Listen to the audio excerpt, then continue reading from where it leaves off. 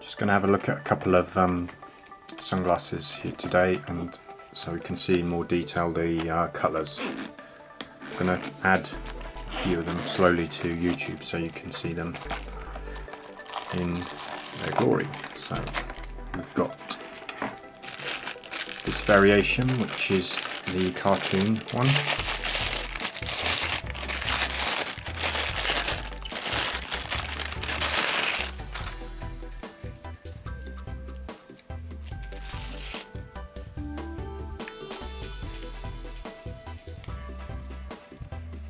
see how the lens has got some purple and blue in there.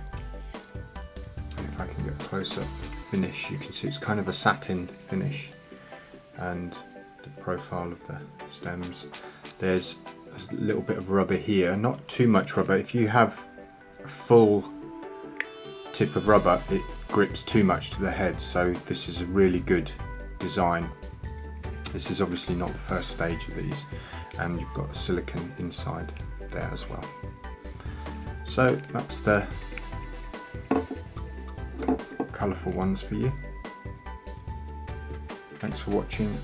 Please subscribe if you want to see some of the other ones. Um, yeah. Bye for now.